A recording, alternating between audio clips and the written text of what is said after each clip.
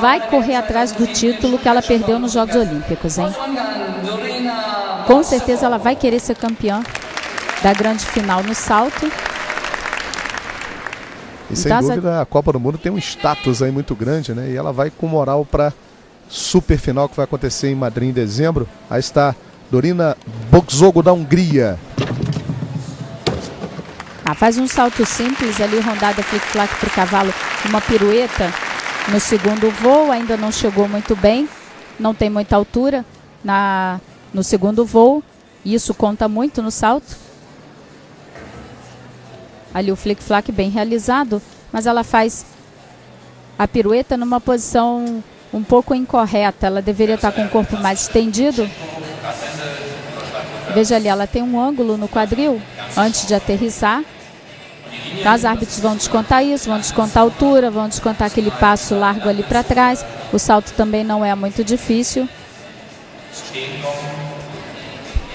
Não acredito aí que vá conquistar pontos para chegar a uma grande final e muito menos ao pódio nessa competição. Nós tivemos a Ag, que competiu antes dela, já foi bem melhor. E nós temos aí pela frente ainda a Ana Pavilova e a Feixenga. Primeira nota, 13,675. A lá, árbitro brasileira, bandeirinha do Brasil ali embaixo, deu 7,80 para ela.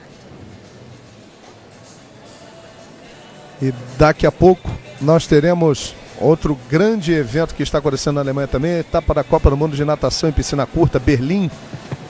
Já já teremos a prova dos 100 metros livre. E você vai acompanhar com a gente aqui no Sport TV ao vivo com a Vanessa Rios o Pedro Monteiro e também o Rafael Mosca. Não foi bem a ginasta húngara, hein, André? É, não foi não. O salto dela muito fácil e ainda sofreu uma queda. Quer dizer, não tem nem dificuldade na execução, olha aí. E essas quedas para o próximo ciclo vão aumentar. Elas atualmente, o ginasta perde 8 décimos quando sofre.